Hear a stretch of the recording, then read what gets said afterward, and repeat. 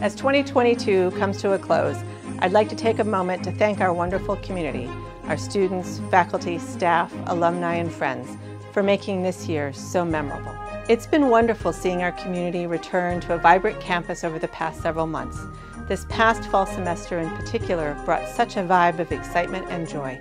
It's evident that we certainly are stronger together. As we look ahead to 2023 and beyond, I'm confident that we will continue to build upon our strengths that have helped Stony Brook become New York's flagship and number one public university.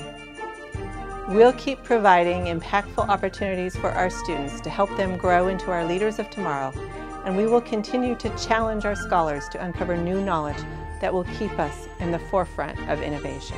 I'm proud of our countless accomplishments and contributions and look forward to so much more to come. In the meantime, I hope you enjoy this look back at 2022. On behalf of the College of Arts and Sciences, I wish each of you a happy and healthy holidays.